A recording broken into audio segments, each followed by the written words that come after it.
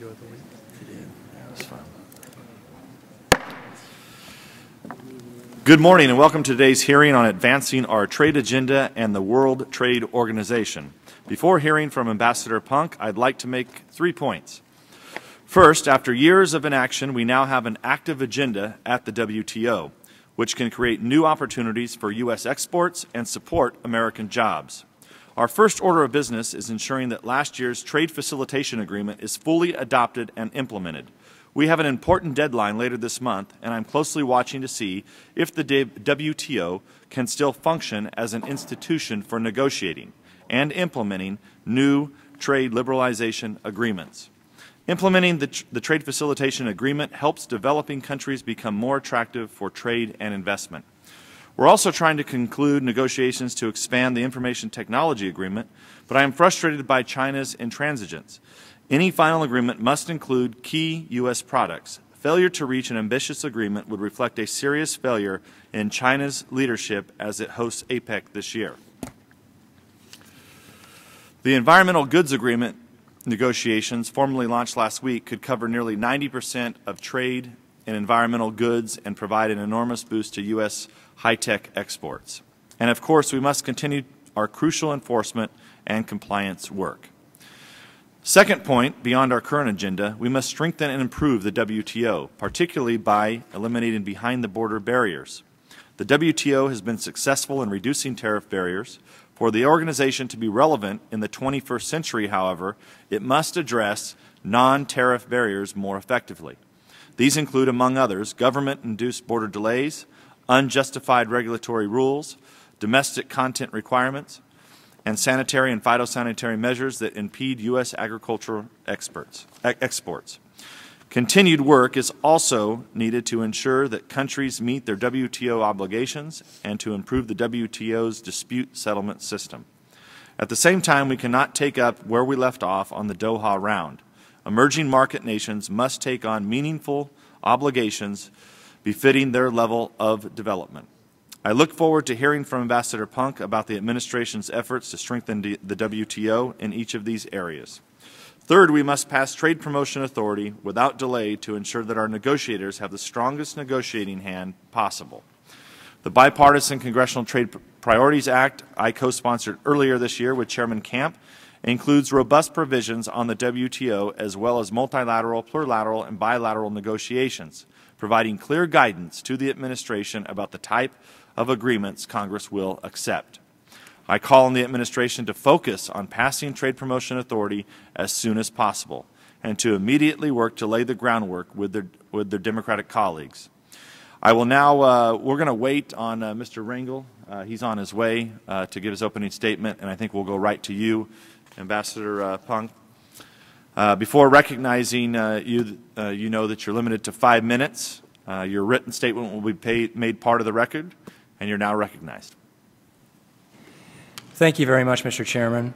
Uh, Chairman Nunes, Ranking Member uh, Rangel, uh, I'm anticipating his arrival, uh, and members of the Trade Subcommittee, thank you for the opportunity, opportunity to testify on the Obama administration's priorities and recent developments at the World Trade Organization. The core of the Obama administration's economic strategy is to create jobs, to promote growth, and to strengthen the middle class. The WTO is a critical part of that strategy. It sets the rules that govern the global trading system, and we believe it has the potential to do much more. That is why the United States led the charge at the WTO's ninth ministerial conference last December in Bali to complete the Trade Facilitation Agreement, or TFA, the first successful conclusion of a multilateral trade negotiation in the two decade history of the WTO. It is why we are working on other major initiatives in Geneva, including a group of key plurilateral agreements, which have the potential to reinvigorate the multilateral trading system and to help the WTO meet its potential. In Bali, WTO members concluded a package of significant results that include the TFA and important outcomes on agriculture and development. We are now actively engaged in implementing all of the Bali outcomes in keeping with the very specific timelines and procedures agreed to unanimously by all WTO members.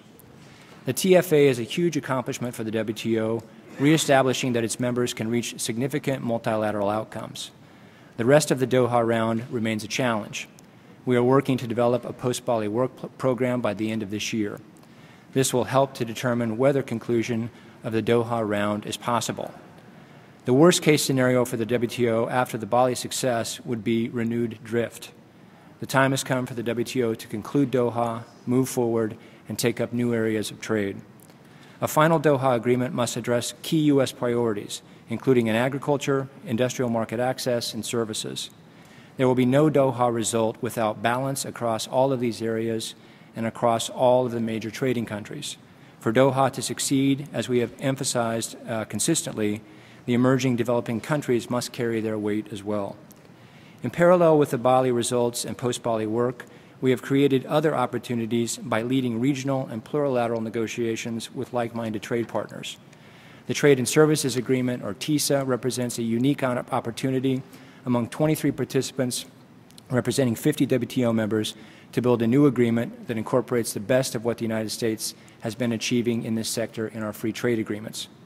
We have high expectations for TISA to provide increased market access and potential rules to support expansion of services trade into the future. Just last week, we launched negotiations on the new Environmental Goods Agreement with 13 other WTO members, representing 86 percent of global trade in environmental goods. Elimination of tariffs on environmental technologies will make these goods more available and boost U.S. jobs. ITA expansion holds out similar promise for boosting simultaneously the WTO's credibility and exports of high-quality American technology. If we are successful, and there is more work to do with our Chinese colleagues, as you noted, Mr. Chairman. The ITA will be the first tariff cutting agreement at the WTO in 17 years. From day one, the Obama administration has made enforcement a key priority to ensure that American stakeholders get the full benefits of the market opportunities we have negotiated. When direct engagement with a trading partner is not successful, we do not hesitate to use WTO dispute settlement. The United States has brought 18 WTO complaints since 2009. We have brought disputes in areas such as trade distorting subsidies, export restraints, import licensing barriers, local content requirements, retaliatory use of trade remedies, and non-science based SPS measures. Those disputes involve major trading partners such as China, India, Indonesia, and Argentina, and we have had significant successes. We will continue to prosecute and defend these disputes launch new disputes as appropriate, and insist that WTO members live up to their obligations. To conclude, certainly we see challenges ahead, but also great potential for using WTO and other negotiations to promote opportunities for American workers, farmers, ranchers, businesses of all sizes, and most importantly, American families. In this regard, let me say something about Trade Promotion Authority. To actively and effectively pursue these initiatives and bring benefits home to Americans, we will need TPA. TPA is the mechanism by which Congress has worked with presidents since 1974 to give the executive its marching orders about what to negotiate, how to work with Congress before and during negotiations, and how Congress will take up and approve or disapprove the final agreement.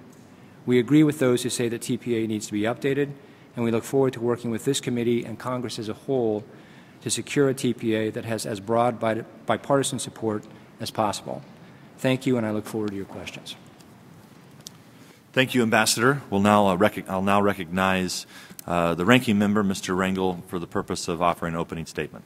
I'll be brief, and I thank you, Mr. Chairman, and I congratulate you for assuming this great responsibility, Ambassador. I uh, congratulate the work that the World Trade Organization is doing and you guiding America for fairness and equity.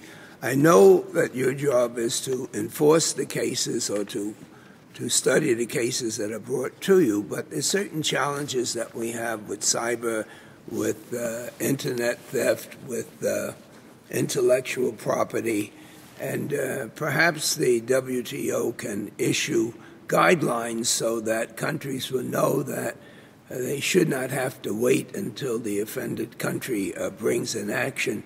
Another problem that we face with the trade agreements as well as the uh, the president's authority is that it's hard to give the president authority to do and not to do when you have no clue as to what's going to be in the agreement.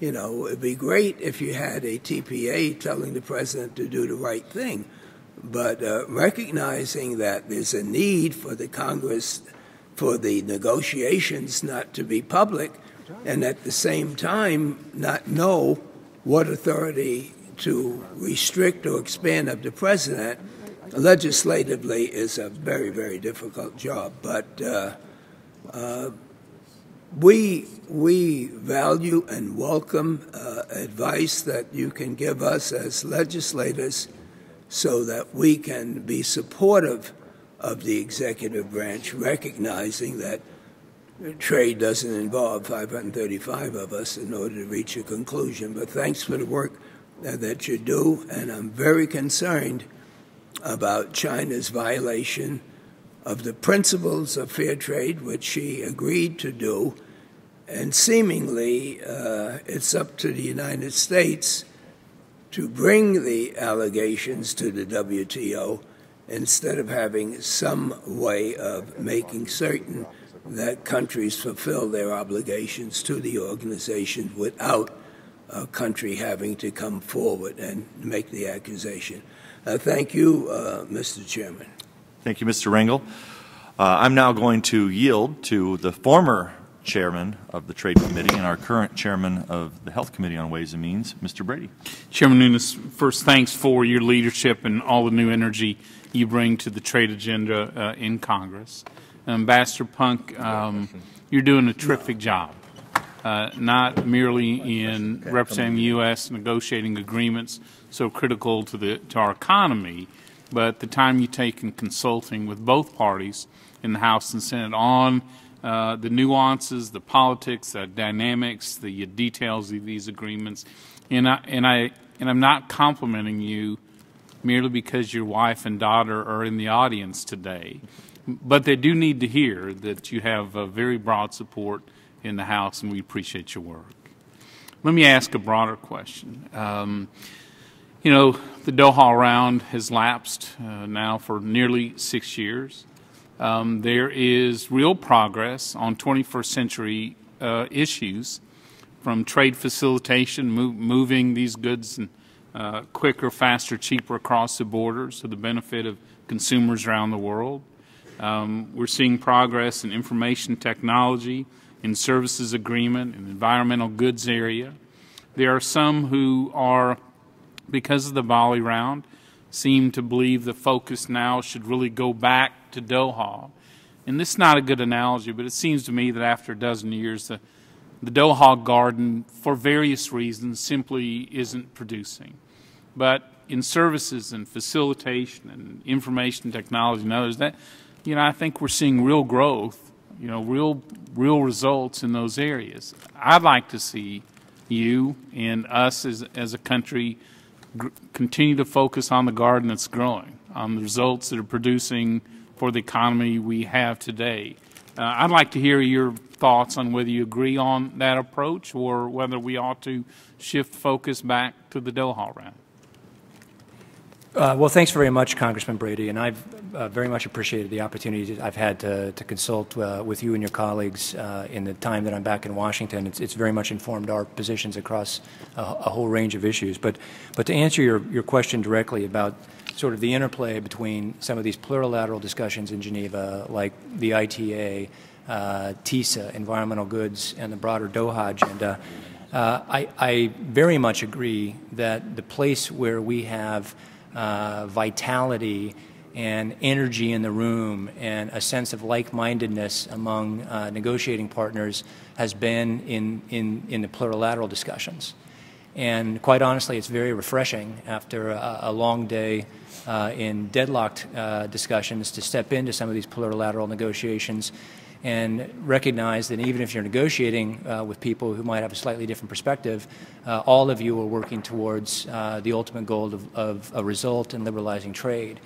And so those plurilateral discussions are on their own track, and they will continue, and we will push them uh, and lead in those discussions uh, as we move forward. I do think that there is the potential for uh, us to make progress on Doha, despite the fact that we're now uh, 14 years into that negotiation. But I think one of the points that you made is really critical there. Uh, and I think the uh, Chairman Nunes made the, a, a, similar point. Uh, we can't simply uh, keep going back to things that haven't worked in the past. I, I think about the, the uh, Einstein uh, maxim that you know the definition of, of insanity is Yeah. to do the same thing over, over and over and expect a different result. There's been too much of that in Geneva. So Bali has given us uh, a puff of wind uh, in our sails, uh, the first one in a long time in terms of a, a broad multilateral discussion. We have an opportunity this year, if we are willing, all of the members of the WTO to wrestle with difficult questions like the appropriate role of emerging economies, to make progress uh, on Doha.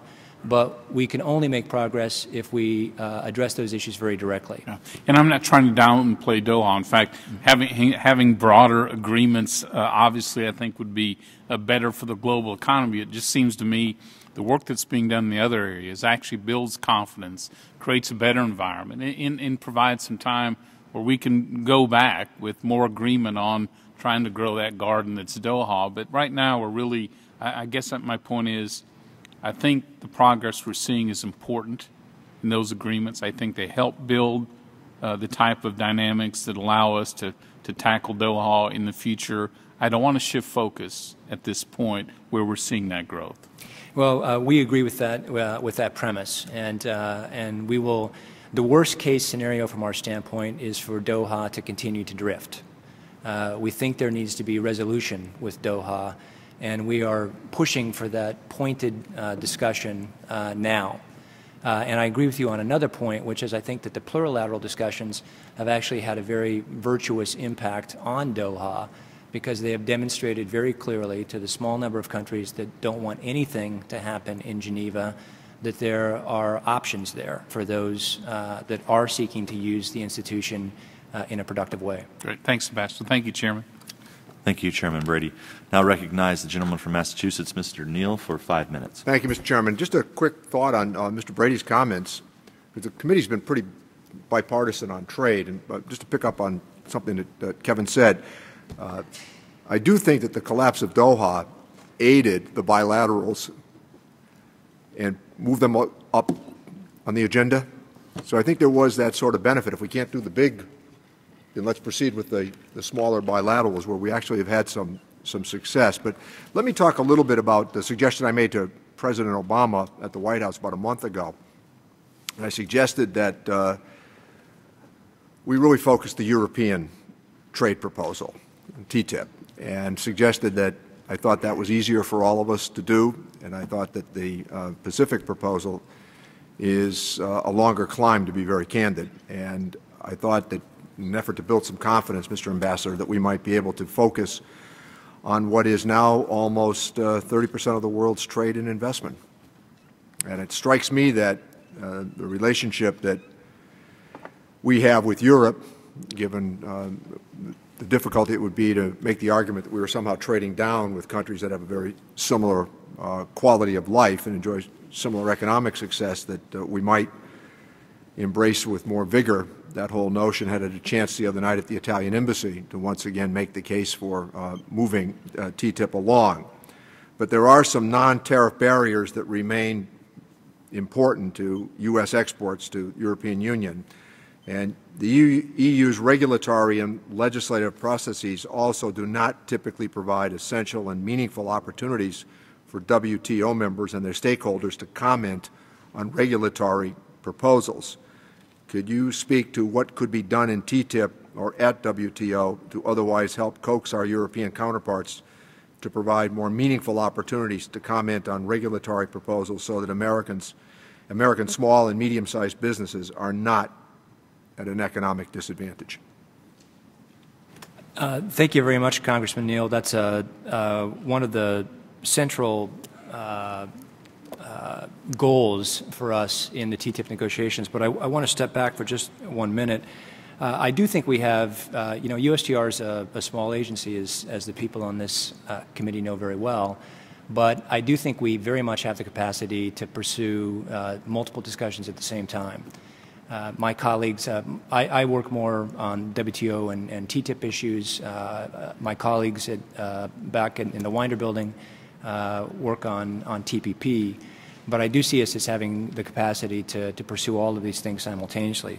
But with regard to, to, to TTIP specifically, and, and especially with regard to the regulatory issue that, that you have mentioned, one of our biggest goals has been to pursue the so-called uh, horizontal regulatory issues, uh, which is to say exactly the types of issues that you're raising. In the U.S. system, uh, through our notice and comment process, uh, all interested parties, foreign and domestic, have the opportunity to see uh, draft regulations and to comment on them and to have those comments taken into account by regulators in making decisions about the, the final shape that regulations should take. We don't have those same opportunities in the European system. And that is something that we think is uh, an, uh, enormously important for our stakeholders uh, to have. Uh, uh, transparency in terms of, of making regulations, access in terms of an opportunity to provide input at, at critical junctures, and then accountability on the part of European regulators to respond to those uh, uh, comments that they hear. Now, we're not seeking a guaranteed outcome, but we believe that that, that process uh, in and of itself results in, in much better regulatory outcomes. And in a transatlantic context, it creates uh, the opportunity for there being, being fewer impediments to trade as a result of unnecessary regulatory differences. So that's an issue that I appreciate your support on because it's something where we're, we're working very hard. Uh, thank you, Mr. Ambassador. Thank, thank you, Mr. Chairman. Thank you, Mr. Neal. Uh, Mr. Reichert's recognized for five minutes. Thank you, Mr. Chairman. Welcome, Ambassador. Uh, so your wife and your daughter are in the audience. Uh, is your brother here too? you know, he's in town and he didn't come today, so I guess I should be very offended. Yeah, he's off the Christmas list. Hey, uh, first of all, I just want to thank you for recognizing in your opening comments the importance of TPA. I think uh, most members here recognize uh, that TPA is, is critical to uh, any agreement associated with TPP. Um, and uh, uh, I think we've made it very clear on our side of the aisle that if an agreement comes to this Congress without TPA, it's dead on arrival. So uh, I look forward to working with you and other members of our USTR, Ambassador Froman, et cetera, and the administration on uh, moving uh, Mr. Camp's uh, initiative forward um, for Trade Promotion Authority. It's, it's bipartisan, it's bicameral. Um, a lot of work has been done on it, and we need to we need to help. We need some help to move that forward here. Also, like to just thank you um, and your colleagues for the work uh, at WTO in challenging Indonesia's uh, import restrictions on agricultural products. Um, Ind Indonesia, as you know, is a top market for Washington's high-quality apples, and uh, it was a very critical uh, uh, for them, and we appreciate your fighting for our growers in Washington State. Um, got a, a, couple of questions, um, and I'm I'm happy to see that uh, you've launched negotiations for a plurilateral agreement on environmental goods. This is a, a significant opportunity, I think, to increase our exports in environmental goods and lower prices for uh, consumers. Are there major global traders in environmental goods that are not currently a part uh, or party to the negotiation, and, and what's your plan to bring them into the process? Well, uh, let me address that very specifically. Uh, we have uh, have faced this question in in other plurilateral discussions about uh, whether or not to sort of uh, actively seek uh, countries' participation in plurilateral negotiations. And I think the the viewpoint that we've we've landed upon is that what makes the plurilaterals work is the fact that the, the countries that are there are like-minded and want to get a result. And as I, as I mentioned earlier, that doesn't mean we don't uh, uh, have disagreements within the group. It doesn't mean we don't argue with each other and negotiate very hard for, for national interests. But there is a common desire to, to reach an agreement and to be ambitious. And so we have been, uh, uh we have not done work, we have deliberately not done work to solicit members to come in to the various uh, plurilateral discussions, whether it's uh, TISA uh, or the Environmental Goods Agreement, because our experience Uh, it's, and, and, this is a metaphor that only works in Washington, so I'm very happy to be able to use it here. Uh, this doesn't work in Geneva. It's, it's Tom Sawyer and the picket fence. Uh, we want people who want to, uh, to, to, paint the picket fence uh, on their own. Uh, we don't want people negotiating before they come into the negotiation about whether they should be there. And we've had good success with that dynamic in, in the context of TISA. We started the TISA negotiation, for example, with, with 15 members, and we've had uh, eight join that discussion without doing any recruiting. Uh, you ask if there are countries outside of the environmental goods agreement that we would like to see in. There certainly are. And I, I would expect that we will have more that will see it as being in their own interest uh, to be a part of that discussion. We're, we're already hearing uh, inquiries in Geneva, and so I think you'll see that, that grow over time. But frankly, we already have a very good uh, set there. I think uh, currently about 86% of, uh, of global environmental goods trade. Great, thank you. Uh, do you have a? T- I'm sure you have a timeline for negotiations, but could you elaborate on your on your plan to avoid a free rider problem? The there is a free rider problem that is built into uh, plurilaterals that are based on goods trade uh, because of the MFN principle in uh, the WTO. In TISA, we have a very unique situation where the existing WTO rules explicitly allow us to have a plurilateral negotiation whose benefits are not provided on an MFN basis to the rest of the organization. Unfortunately, we don't have that same uh, benefit when it comes to goods trade. And so, whether it's ITA or environmental goods, uh, whatever benefits the members decide among themselves, they have to share with the rest of the membership. And as you point out, that creates a free rider problem. What that means is that uh, we really uh, we're not in a position to, to we won't be in a position to conclude a deal if key players are not a part of it because there are certain players, for example, China, uh, that we would never allow to be a free rider uh, on something like the Information Technology Agreement or the Environmental Goods Agreement. Uh, fortunately, China is a part of both of those discussions, although uh, in the context of ITA, uh, with mixed results to date. But that is the challenge of having key players inside of the negotiation so that they take on obligations and are not uh, able to free ride. Thank you, Mr. Chairman. Time of gentleman has expired. I'll now recognize the gentleman from Florida, Mr. Buchanan, for five minutes. Thank you, Mr. Chairman. I also want to thank the ambassador for your service. Let me just start out in a general question. Uh, I get asked quite a bit about the effectiveness of WTO. Uh, I know it's the rulemaking body. Uh, it's, it is the body, and you're our main interface. What's what's your general feeling about how effective it is, in general, as it impacts the world, and then as it uh, relates to the U.S. Well, it's something I spend a lot of time thinking about, and I've, I've, I've, had the privilege of being in this job for about four and a half years now, and, and, I've, I've and so I've seen this unfold over a little bit of a, of a time frame here now. I guess to me, there are a couple of lessons that I've, I've drawn out of that.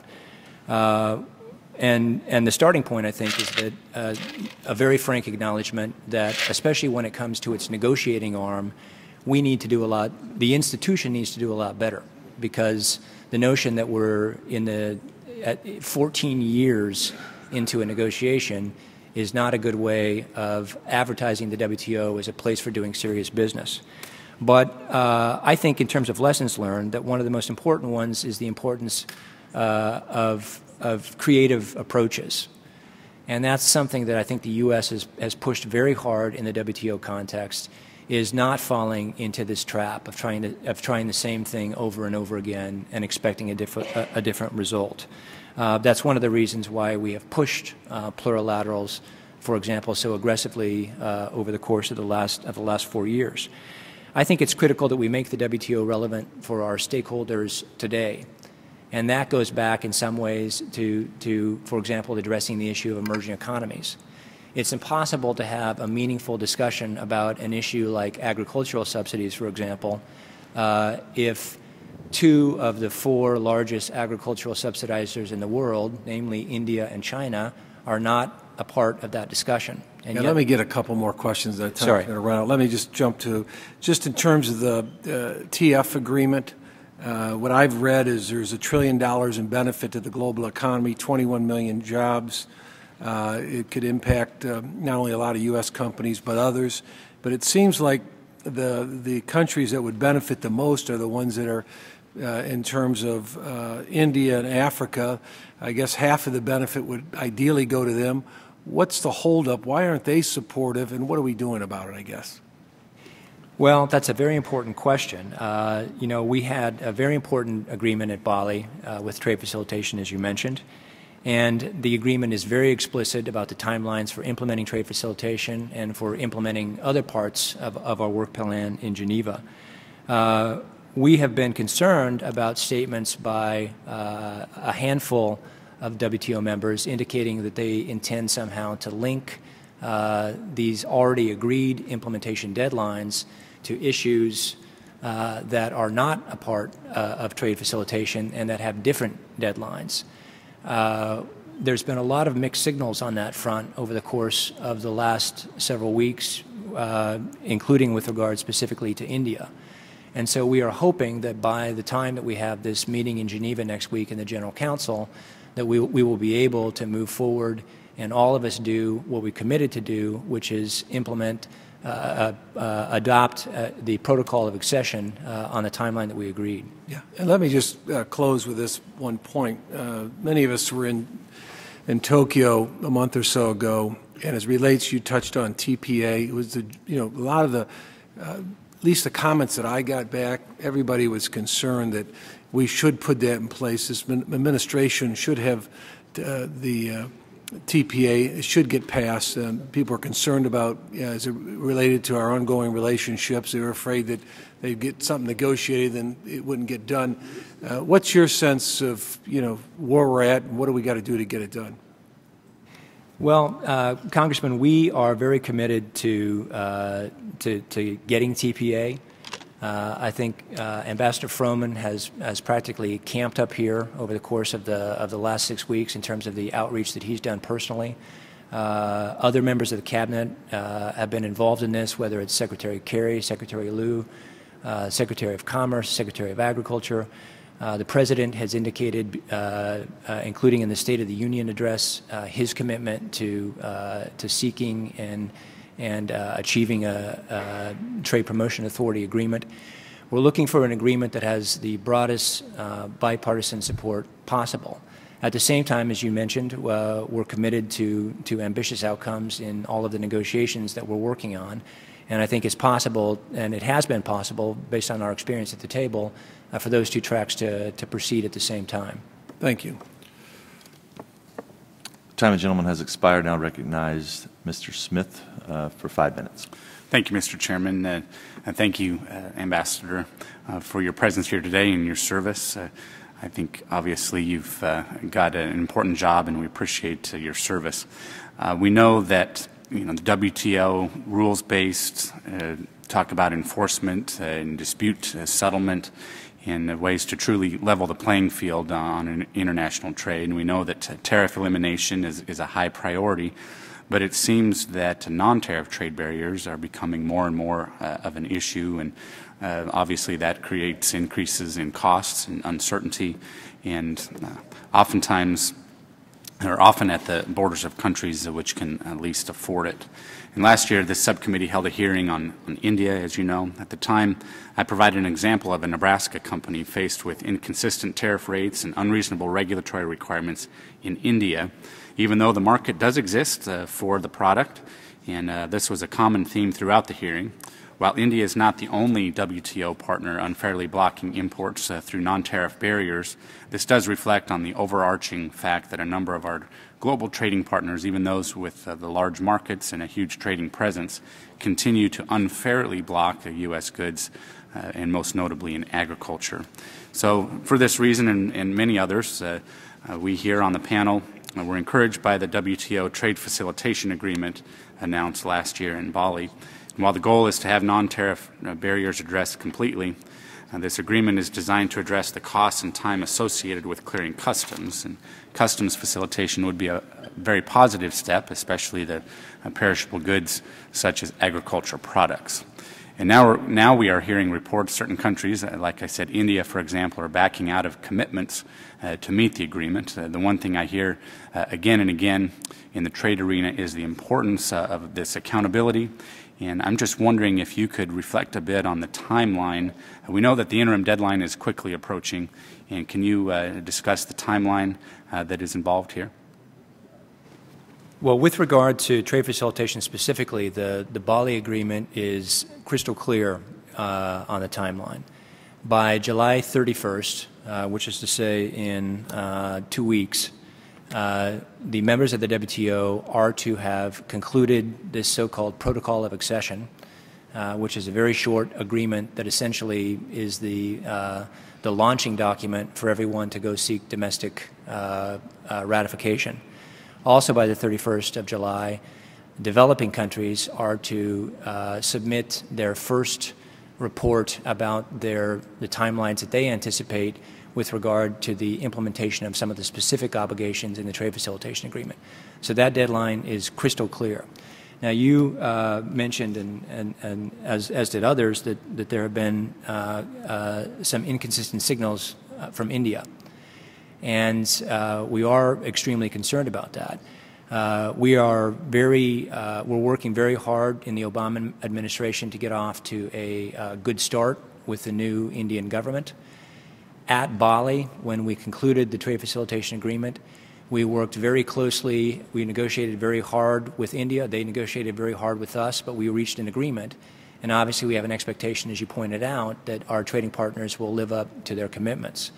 Uh, it also is critical to the WTO and the credibility of the WTO that this one agreement that we've been able to achieve in its 20 uh, year history uh, not evaporate uh, six months after it was concluded. So, for all of those reasons, this is a, uh, a source of, of uh, an awful lot of work on our part in trying to make sure that everyone sticks to what was agreed and implements the agreement starting with July 31st. Okay. Uh, would you agree that perhaps failure of, of uh, reaching an agreement here actually negatively impacts consumers not only here at home but uh, abroad? There, there is no question in my mind that, uh, that the trade facilitation agreement has enormous benefits for every member of the WTO. And, uh, and there is overwhelming academic evidence that the biggest benefits of trade facilitation uh, accrue in developing economies that are less integrated into the global economy. So I believe that the, the single most important development outcome that we achieved in, in Bali was the trade facilitation agreement, despite the fact that we didn't call it a development right. agreement. Okay. Uh, switching gears just a bit be before I run out of time, we know that Mexico and Hong Kong uh, have lifted their remaining age-based restrictions on, on U.S. beef. And I was just wondering, you know, there are several other countries that have not lifted those age-based restrictions, even though uh, scientific evidence uh, abounds uh, relating to that. Uh, is the administration considering uh, pursuing some WTO action on that topic? Well, uh, Congressman, my hometown is in Torrington, Wyoming, which is about eight miles from the, the Nebraska border, and right on the border is a feedlot. Uh, so this is an issue that, uh, that, that I understand uh, uh perhaps from a similar perspective uh, uh, of you, despite being slightly across the border. we are dedicated in, in this administration and, and at USTR that international rules on trade be based on science. And we're pursuing that principle across uh, numerous uh, issues, uh, including our efforts to, to promote beef exports uh, and we will very much continue to do that. Okay, very, uh, very well. Thank you very much. Thank the gentleman. Uh, the gentlelady from Kansas, Ms. Jenkins, recognized for five minutes. Thank you, Mr. Chairman. Thank you for holding this important hearing, and we thank you, Ambassador, for, for being here and for your good work. Uh, my home state of Kansas is a major producer of beef and pork, and as was shown in this committee's last hearing, the U.S. livestock industry is very frustrated with difficulties of opening the Japanese market, and I can assure you that my constituents share that frustration.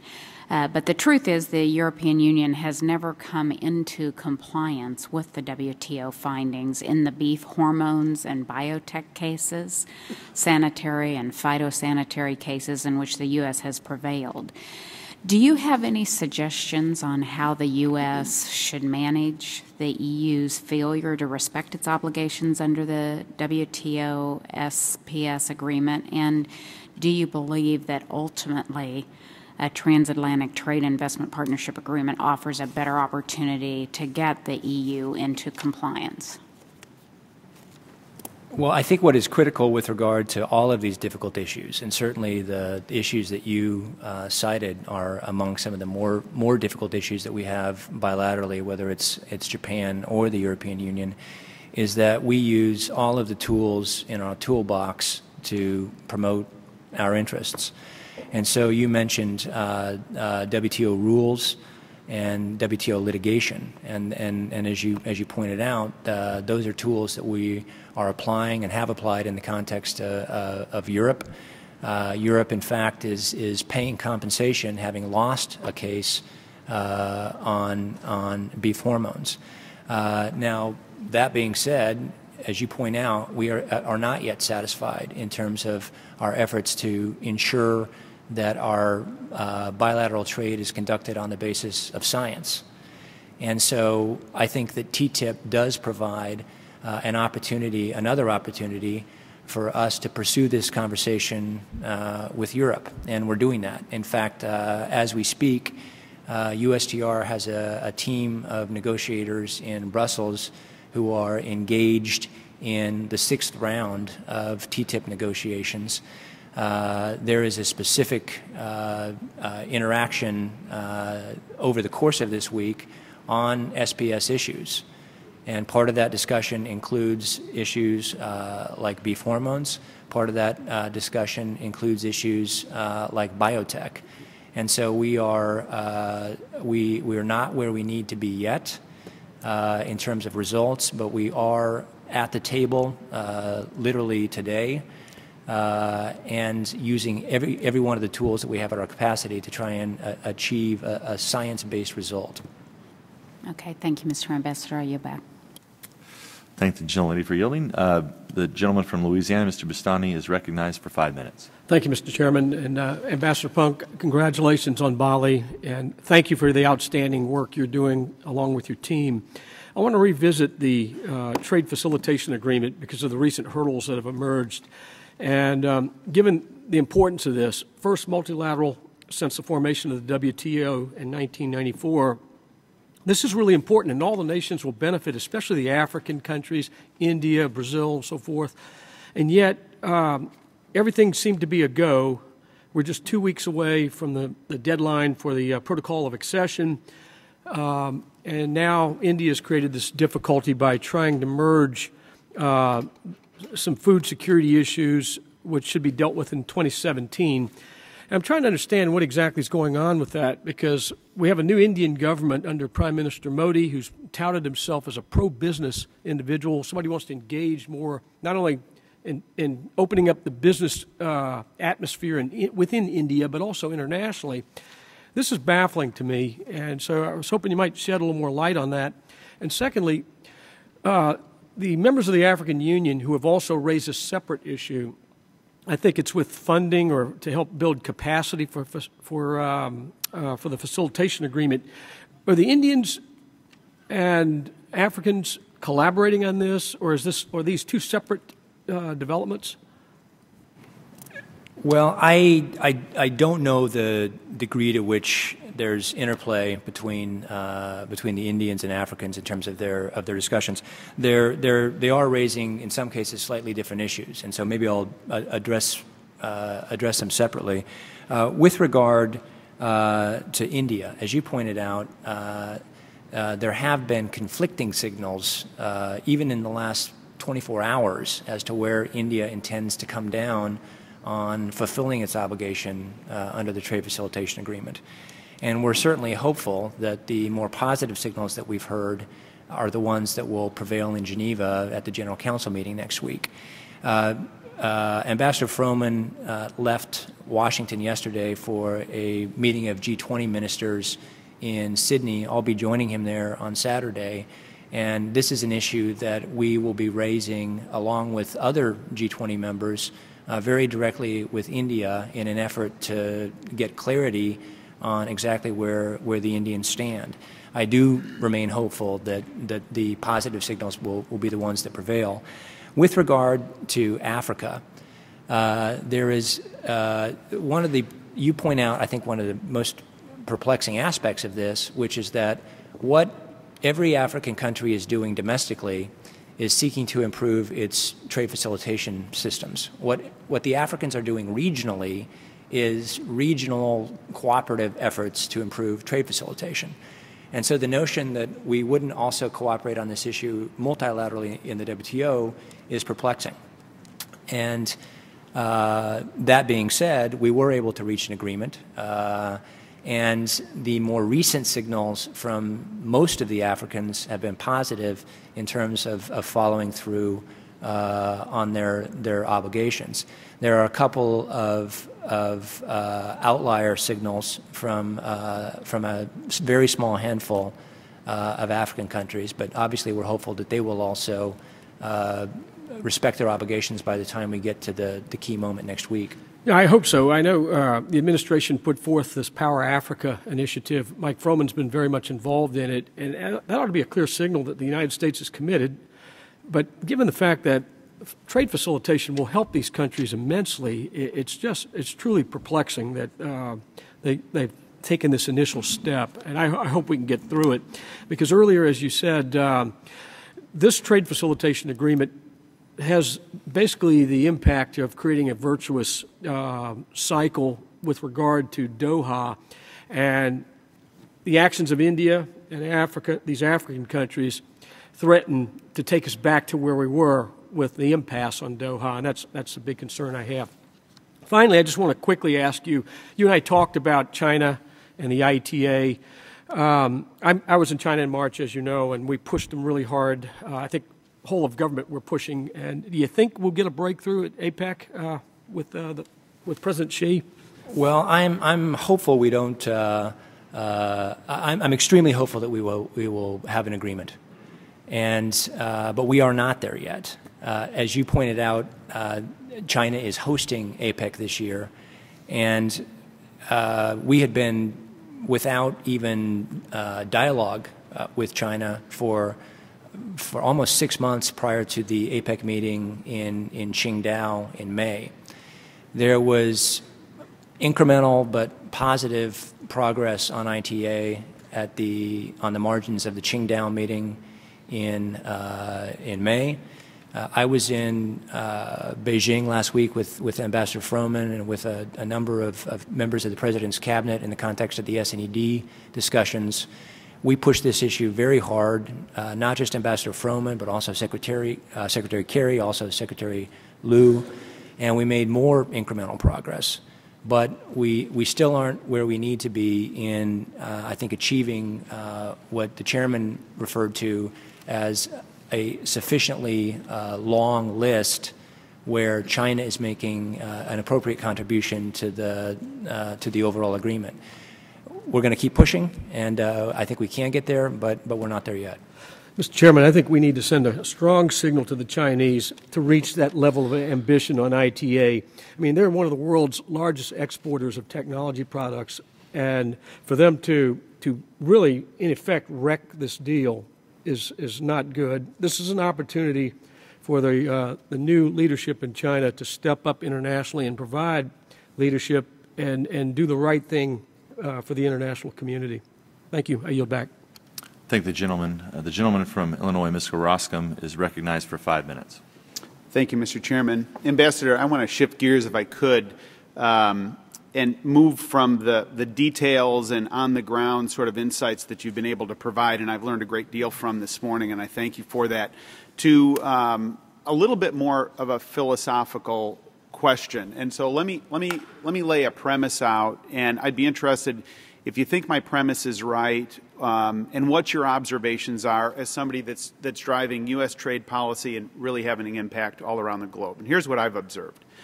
I think that there is a, um, a palpable ambiguity in the United States on what the U.S. role should be in the world today.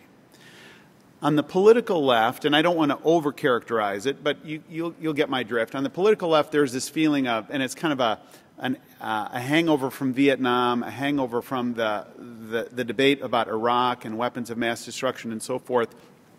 And there's this natural reluctance to assert American power around the world.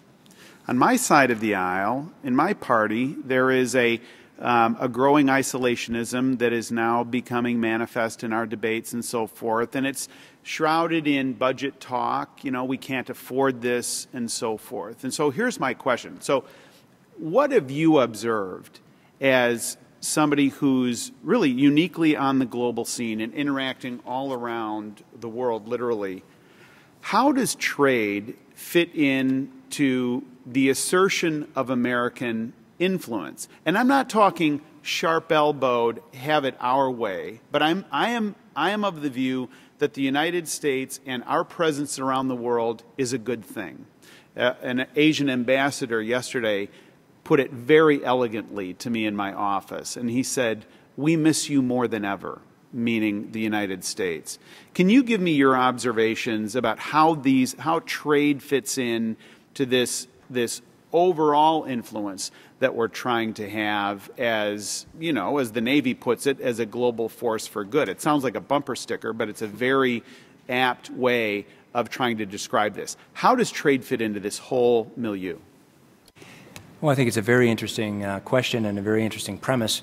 Uh, I, I, would disagree with the the uh, Asian ambassador who would indicate in any way that uh, that the U.S. has been has been missing. And I think what, in listening to your question, what, what I thought of was, was actually just the opposite in the sense, in the following sense. Uh, one of the things that I think is unique about this, this moment historically in terms of U.S. leadership is the degree to which we've put ourselves uh, really at the, at the center pivot of critical discussions. We are at the center pivot of uh, a discussion about Asian trade through TPP. We're at the center pivot of a discussion about Atlantic trade in TTIP.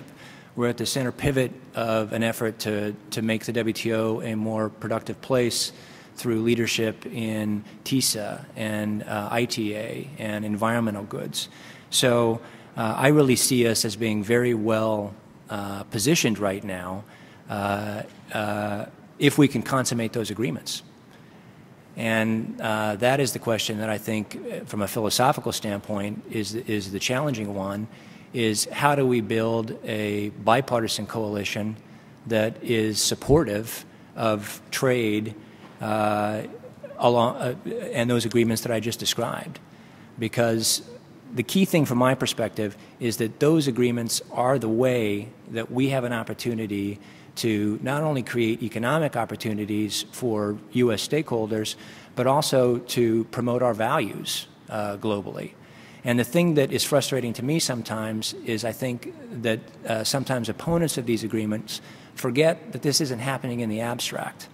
Our rivals are out there very actively seeking to put their own uh, uh systems in place. And for example, in the context of TPP, uh, we can be very certain uh, that if TPP did not succeed, uh, that uh, the Chinese would be uh, quite happy to fill that vacuum uh, with their RCEP agreement. And I can guarantee you that values and concerns that we have about things like environmental protection, consumer protection, labor rights will be far better served under TPP than they would be under, under Chinese leadership it seems that one of the areas where we can all work together, the administration and this committee in particular, and, and you sense a strong bipartisan commitment to, to free trade, is to articulate at home how this is a winner for us, how this is a winner for our consumers, how this is a winner for our producers. And we need to shun the sort of thinking that says, no, this is a zero sum game and the only way somebody else benefits is at our expense. And so, to the extent that we can be um, actively participating with you in that debate, I'd be honored to, to play that role. Gentleman yields back and now recognize the gentleman from Connecticut, Mr. Larson, for five minutes. Uh, thank you, Mr. Chairman, and thank you, Ambassador, for your uh, service and uh, following along with a number of the uh, uh, concerns that uh, my colleagues have addressed. I always like to try to take it back to my district and to a place called Augie and Ray's. I don't know that you've been there, Ambassador, but if you ever get the chance, I highly recommend it. Larson Specials, not bad, but but it's at Augie and Ray's that uh, you hear the unfiltered uh, opinion of the community, and I'm talking about everybody from the Chamber of Commerce to the insurance industry to machinists at Pratt and Whitney, and it's there that we see this uh, growing uh, skepticism and uh, divide about trade. And it's a great irony coming from a state that is primarily an export state uh, that uh, relies on, uh, on trade. And I think a lot of the angst comes from um, both the implementation of trade agreements with unenforceable provisions aka such as the labor provisions in NAFTA, and also the enforceable provisions that, while useful, often require years of deliberation and considerable amounts of money before the enforcement actually takes place. Uh, while the administration clearly has uh, been aggressive in utilizing the enforcement mechanisms available in the WTO, it's clear that more must be done to ensure that nations are living up to the standards that they agreed on. To Mr. Roskam's point, I think that that would better have the public have a stronger feeling about it. So I have three uh, uh, questions that I want to uh, pose to you, uh, short ones. But uh, what more is the administration doing to ensure that American businesses, manufacturers, and laborers are playing on a level playing field? And that's the whole gist at Augie and Ray's, is that they're not. They feel that we write tax policies that make it easier for people to go overseas, and then we end up in trade agreements that further uh, hurt labor uh, here at home. Uh, so what are we doing further to level the playing field uh, with their competitors? Also, and again, this is something uh, that Mr. Boustany raised as well, and I think it's generally held on the committee, our overarching concerns uh, with China, who consistently retaliate when the United States brings an issue to the WTO for enforcement. It seems that these types of retaliatory actions have in many ways stalled the United States' ability to move forward on issues like addressing currency manipulation, which again has broad bipartisan support here in Congress and would have a real beneficial impact on the American workforce and send a clear message that yes, we are staunchly persistent in wanting to enforce this. And last, because in my, it's that, that same place, and because it's, uh, again, an export state, and a lot of small businesses and major manufacturers, they rely heavily on the Import-Export Bank. Uh, what is as the uh, uh, as the USTR taken position on the uh, Import-Export Bank as it faces uh, expiration this fall, and yet is a vital tool again in terms of leveling that playing field? Well, thank you, Congressman. Let me try and uh, work my way uh, through those, starting with your your the the initial observation you made about the importance of labor and environment provisions uh, being fully enforceable.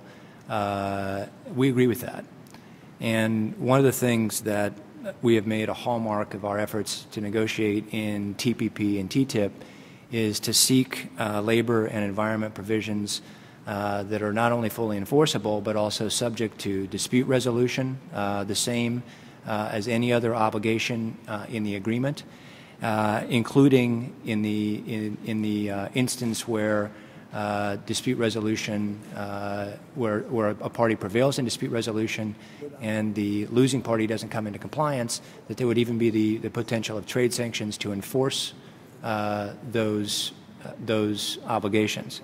So uh, we agree with you that, that, that that needs to be a central part of the way that, that trade agreements are, are negotiated uh, in, in the 21st century. To, to, touch briefly on, on the other specific issues that, that you raised, what are we doing about leveling the playing field? Part of that, I think, is a very aggressive and uh, constant effort with all of our major trading partners to open up new opportunities so that there's not uh, the ongoing situation where the U.S. market is more open than the market of our most important uh, competitors. You know, the, the, the, truth of the matter, and this is something that we, I think, is, is relevant to the, to the philosophical question that was raised by Congressman Roskam, is that the U.S. Uh, market is largely already open. Uh, we made that decision beginning 60 years ago at the end of World War II. So we're, we're more open than a lot of the countries that we're most worried about. And the only way that I know of to, uh, to bring that into better alignment is to negotiate trade agreements where we lower the barriers that our competitors still maintain. But that requires us to engage, and specifically to engage in trade negotiations and bring back, bring back trade agreements. The other aspect of that, I think, is enforcement and uh, demonstrating that we don't just uh, negotiate the agreements and then they go away, but rather that, that there's vigilance there and that we will ensure that other countries live up to their obligations. I think enforcement has been a hallmark uh, of this administration. Uh, just in the WTO context uh, alone, uh, we have brought 18 uh, WTO uh, enforcement cases. One of the things you mentioned is concerns about the Chinese using, using inappropriate retaliatory litigation when, we, when we've brought legitimate cases. That's something we've pushed back against uh, explicitly, and I might add also uh, successfully in terms of their misuse of their domestic uh, anti-dumping laws. Uh, so that's a, that's a place where we're very we're very focused.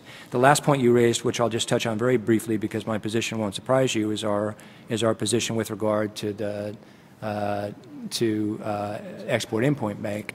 of course, USTR is strongly in line uh, with the position of the administration about the importance of extending uh, the Exim Bank. And uh, maybe the additional perspective that we bring to that is to see what our competitors are doing. Uh, and we know what we're up against. And I think uh, the, Ex- the Exim Bank is, is one of the things that helps to level the playing field in exactly the way that you were talking about. Thank you. Time of the for the latitude, Mr. Chairman, also. No problem. Uh, the time of the gentleman has expired. I now recognize the gentleman from Wisconsin, Mr. Kind, for five minutes. Thank you, Mr. Chairman. Thanks for holding this very important hearing. Ambassador Punke, it's good to see you again, and thanks for your service to our country. Let me ask you, Ambassador Punke, while I've got you here, a resource issue.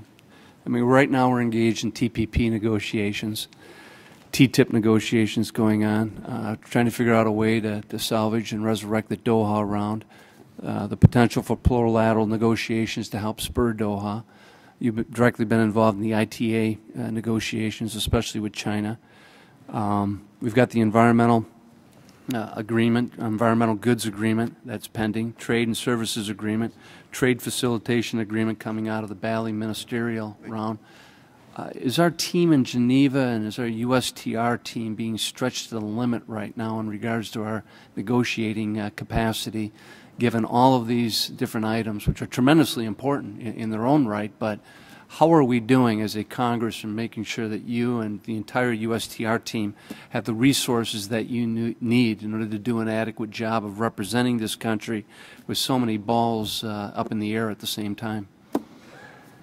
Uh, well, Congressman, thank you very much for that, and uh, uh we uh, certainly are very grateful for the, uh, the support that we've had from, from you specifically, but from the, the committee more broadly in terms of, of uh, resources for the Office of the U.S. Trade Representative. Uh, look, we, we pride ourselves on being uh, lean and mean at USTR. And uh, we will always make do with whatever resources we are given. And uh, live off the land or do whatever else is uh, necessary to make sure that we are, are uh, fulfilling our mission. Uh, I think Ambassador uh, Froman was asked this question a couple of, uh, of months ago and noted the fact that there had been recent months, particularly during the sequester, when we were perhaps a little bit leaner than we wanted to be. uh, I think we're in a slightly better uh, position uh, as of the last couple of months, and it's been uh, gratifying, I think, to have the ability uh, to field uh, the teams in the places that we need to field them in order to engage robustly in all of the negotiations that, that, that you described. So we appreciate your support. Uh, we will make the most of, uh, of the resources that we were, are given, and we, we know that in the type of budget environment that we're in, that all of us have to uh, be very accountable in terms of, of, of how we uh, spend scarce resources. But uh, we will continue the conversation with you uh, about about Okay. resources in USTR. I, I- I gave you a softball, I gave you a chance to ask for more, but I'm not hearing a specific list of concerns right now. What about retention, though? Obviously, you've been in place for about four and a half years, a little over four years. Obviously, a lot of this requires a lot of experience, background, relationship building, too. How are we doing in keeping the team constituted? We are doing pretty well, uh, given the fact that uh, USTR's very talented staff has lots of opportunities. Um, I think one of the things that I love about the agency that I work at is that people are, are very dedicated to, the, to their mission. They, they, they genuinely love their work. Uh, and so people tend to stick around. That's not true across the board. Uh, and there are areas where, uh, where uh, you know, we always would hope for, for longer retention. But I think as a, uh, as a general matter, we're doing okay. Yeah.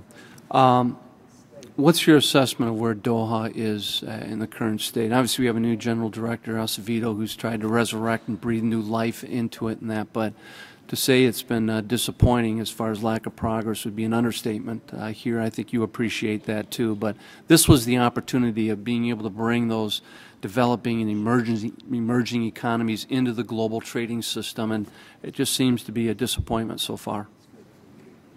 Well, I, th- we're at a, a critical juncture just over the next two weeks because Bali gave us a chance, but over the next two weeks, we'll find out whether or not uh, WTO members are sticking to their Bali commitments. If they stick to their Bali commitments and we can continue to point to trade facilitation and the other Bali agreements as uh, areas where it worked, uh, that gives us a chance of grappling with the bigger issues like the one that you pointed out of the appropriate role of the emerging economies. If Bali falls apart, uh, it's very difficult to imagine that we're going to be able to have that conversation about post Bali in any kind of a, of a credible way. Yeah. Geographic indicators, the EU, is this insurmountable or do we have tools with WTO to help? Well, it's a huge issue with, with the EU, as I know uh, you know well, coming from where, from where you come from. And uh, I, I, I will say very clearly in the context of, uh, of TTIP uh, that we will not be uh, bringing the European system of, of geographic indications uh, to the United States. Uh, at the same time, we will be pressing uh, very hard for access uh, for our agricultural products in the geographic indication domain into the European market. And that's a conversation that is uh, difficult and, uh, and, and very significantly different viewpoints, obviously, between us and the Europeans. But I have discovered something quite interesting in, in my time in Europe over the last uh, four and a half years uh, that we're injecting into that conversation. And this will be of, of interest to you, I think, uh, Congressman, and that is I, I've discovered the, the phenomena of something called German feta cheese. And I've also discovered the phenomena of something called French Gruyere. And I'm not an expert on cheese the way that, uh, that, that, people from your state might be, uh, but I do know that, uh, that Gruyere is not in France. And so uh, that's the type of, uh, of, uh, of anomaly that we're pointing out to our European colleagues in trying to address this issue of geographic indications in the context of, of TTIP. Great. Thank you, Mr. Ambassador. Thank you, Mr. Chairman. Thank the gentleman. Uh, the gentleman from uh, Minnesota is recognized for five minutes. Thank you, Mr. Chairman and uh, Ambassador. Just I want to reiterate, just thank you for your daunting and continued efforts in leadership in advancing the trade agenda. Um, a couple things I want to just touch on real quick. As you well know, healthcare is playing a very increasing role in the U.S. and, and, and global economies. Um, and there's no doubt it's the largest private sector employer in the United States. It's one of the largest and fastest growing sectors in the world economy. Uh, it's also one of our, America's key economic drivers of innovation and cutting edge research. And it's not just pharmaceuticals or medical devices that a lot of folks just think of. We're actually talking about opportunities in our healthcare service delivery now uh, in terms of express delivery, hospital design, doctors, nurses, insurance companies, health IT systems, uh, as well as logistics. And you know, my colleague uh, on the committee, Ron Kind, uh, who was just uh, speaking a minute ago, and I have even gone so far as to ask Ambassador Froman to consider adding a position that would have USTR dedicate a position on healthcare trade. Can you just comment or add some thoughts about the role or the importance that you see right now that this sector has in your work in Geneva or in trade negotiations? Uh, well, thank you for that question, Congressman Paulson. And uh, there's there's no question that that uh, we see healthcare as being an enormously important sector in all of the the the uh, manifestations that you described. Uh, you know, just last week in Beijing, we were pressing the Chinese uh, specifically on the information technology agreement with regard to tariffs on things like MRI machines, CAT scans, uh, implantable medical devices. But we're also very aware, as you point out, that, that healthcare is not just is not just goods; it's also uh, significantly services. And uh, one of the, I think, most helpful or most hopeful uh, fora for seeking to promote those type of opportunities in terms of U.S. services is through is through TISA. And whether I mean you mentioned uh, insurance, you mentioned health IT, logistics, uh, you mentioned uh, you know the provision of healthcare services themselves. All of those are, are issues that are under discussion in the in the TISA context right now, uh, and we see enormous uh, potential. Obviously, those are also part of the of the various bilateral and, and regional agreements. So uh, we're very focused on that issue set. Good. Um, and let me follow up with, a, with, sort of a different topic here. Uh, when the TRIPS agreement uh, was negotiated 20 years ago, there was some disagreement whether internet, uh, intellectual property was truly a trade issue. And developments since then have certainly answered the question that the answer is yes. And IPR is now actively traded, whether it's in the form of cross border licensing agreements or sales of IPR portfolios or cloud computing services and other services that allow foreign clients to have access to U.S. companies' intellectual property rights. In fact, IPR now accounts for the major portion of the value of many U.S. exports. If you take the iPod, for example, the value of Apple's IPR accounts now for far more than the value of the final product in terms of shipping and distribution and assembly. Yet there are a lot of countries uh, within the WTO that continue to question intellectual property rights, uh, especially copyrights and patents for innovative medicines. What are you doing to ensure that WTO members comply with those TRIPS obligations uh, to help build greater understanding within the WTO of the importance of, of IPR? Well, it's a it's a, an ongoing uh, uh, focal point for us in terms of of enforcement. And I, I, talked earlier about the the premium that this administration has placed on enforcement, uh, and and specifically on intellectual property enforcement.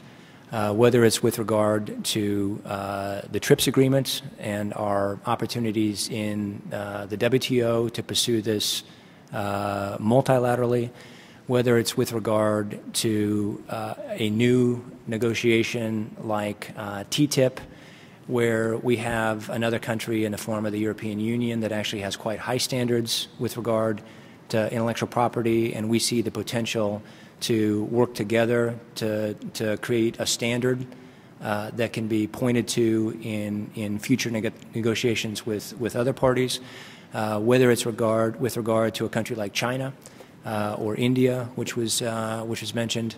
Uh, as as places where we have significant concerns about intellectual property compliance, and we're and we're pursuing enforcement, whether it's through bilateral discussions or or litigation.